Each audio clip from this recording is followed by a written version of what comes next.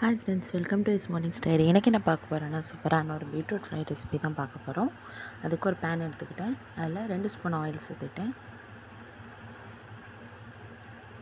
Oil நல்லா heat ஆகட்டும். அதோட அரை ஸ்பூனு கடுகு ஒரு ஏழு எட்டு உளுந்து சேர்த்துருக்கேன். ரெண்டும் சேர்ந்து நல்லா புரிஞ்சு வரட்டும். அதோட அரை ஸ்பூன் சீரகம்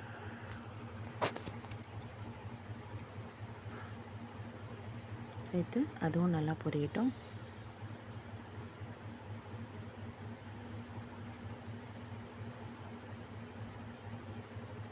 நல்லா கடுகும் சீரகமும் நல்லா பொரிஞ்சு வரணும். இதோட ஒரு ரெண்டு சிகப்பு மிளகாய் நான் இந்த மாதிரி கிள்ளி வச்சுருக்கேன். குட்டி குட்டியாக அதை இதோட சேர்த்துக்கலாம்.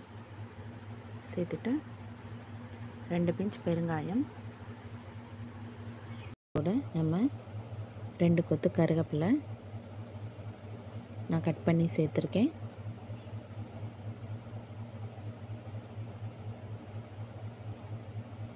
இதோட ஒரு நாலு பல்லு பூண்டு இந்த மாதிரி குட்டி குட்டியாக கட் பண்ணி அதோடு சேர்த்துக்கிறேன். சேர்த்து நல்லா பூண்டு வந்து நல்லா கோல்டன் ப்ரௌன் வர வர நல்லா வதக்கி விட்டுக்கலாம். பூண்டு சேர்த்து பீட்ரூட் செய்கிறதுனால பீட்ரூட் அந்த சப்ஜி வந்து நல்லா கமகமான மணமாக இருக்கும்.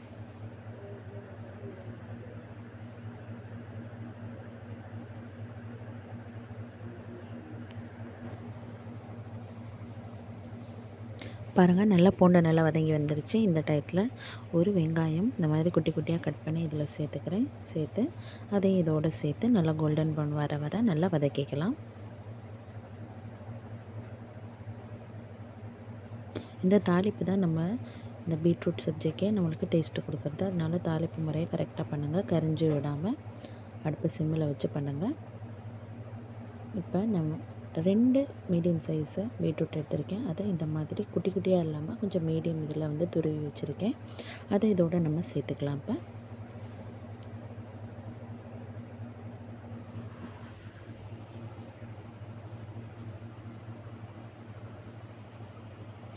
சேர்த்து நல்லா கிண்டி விட்டுக்கலாம். ஈவனாக எல்லா சைடும் மிக்ஸ் பண்ணி இந்த மாதிரி கிண்டி விட்டுக்கிட்டு ஒரு தேர்ட்டி செகண்ட் நம்ம மூடி போட்டு மூடி வச்சுக்கலாம்.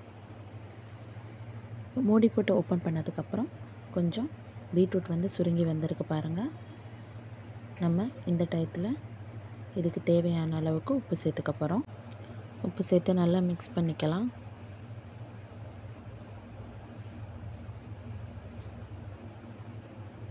நல்லா மிக்ஸ் பண்ணிவிட்டு இப்போ நம்ம இந்த பீட்ரூட் வந்து வெந்து வர அளவுக்கு நம்ம ரெண்டு கை லேசாக தண்ணி தொளிச்சு விட போகிறோம்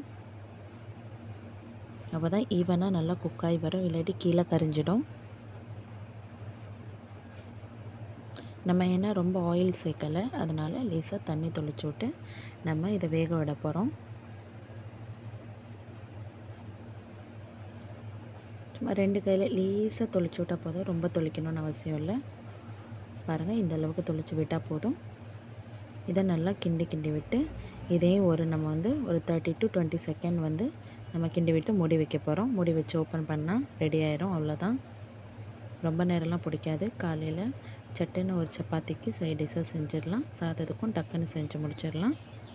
ரொம்ப டேஸ்ட்டாகவும் இருக்கும் இந்த மாதிரி செய்கிறனால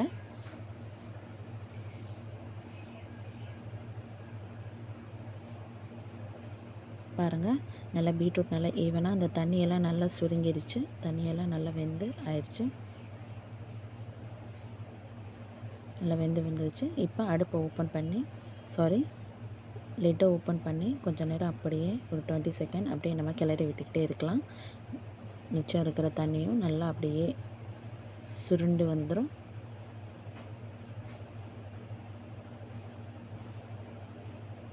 பாருங்கள் எல்லாம் ஆயிடுச்சு இப்போ நம்ம ஒரு பவுலில் ட்ரான்ஸ்ஃபர் பண்ணிடலாம். அவ்வளோதாங்க சூப்பரான பீட்ரூட் ஃப்ரை ரெடி ஆயிடுச்சு நீங்களும் மறக்காமல் ட்ரை பண்ணுங்கள் ட்ரை பண்ணிவிட்டு எப்படி இருக்குன்னு கமெண்ட்டில் சொல்லுங்கள் பாய் ஃப்ரெண்ட்ஸ்